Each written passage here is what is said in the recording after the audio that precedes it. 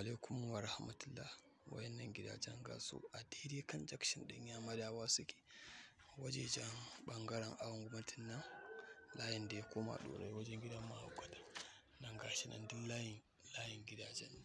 Gidaje ne guda biyu za a siyar da su gasu nan.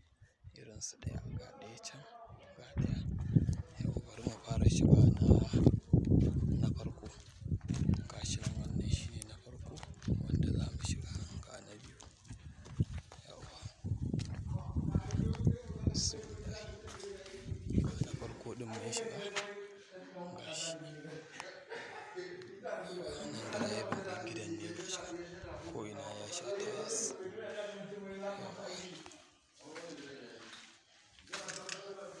Nan public toilet ne. Gashi nan a cikin baranda yake. Gashi. Nan kuma ɗaki ne haka.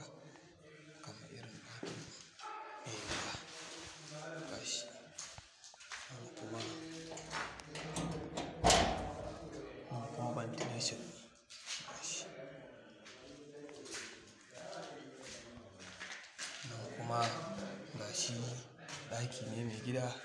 Ya zama yana da ɗaki, yana da falo. In ka ga dama za ka shigo ta can, in ka ga dama za ka shigo nan ka shiga falo. Nan gashi toilet ne na ɓangaren mai gida gashi. Yauwa ga ɗakin ku.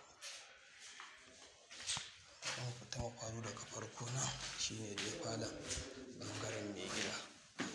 Gashi mun fito daga nan. Mu shiga ga ƙofar falo wadda za a shiga gidan gaba ɗaya.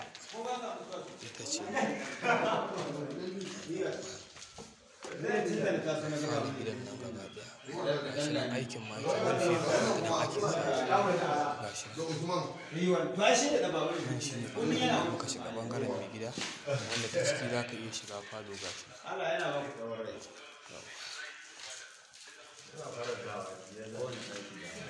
Kowane ɗaki kuma da toilet ɗinsa gashi. Za mu na farko. Gashi. Manya manyan ɗakuna sun sha tiles ko ina. Nan toilet ɗinsu ne. Gashi nan. Toilet.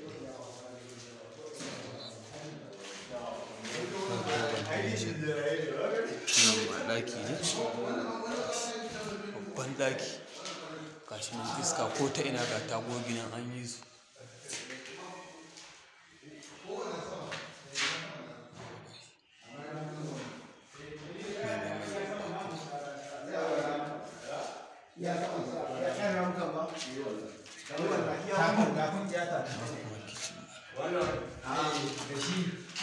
Manya manyan ɗakuna. Nan kuma kitchen ne.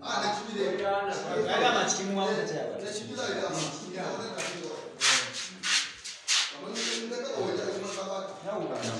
gidan ne gashi. Wallpaper ce ake sata. Inda ake sa wallpaper ne gashi nan da za a za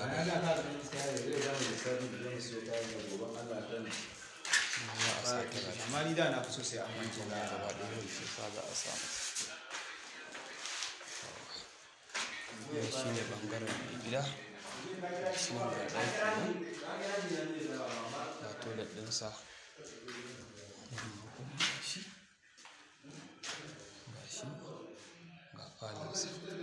Gashi. Ga falonsa. Masha Allah.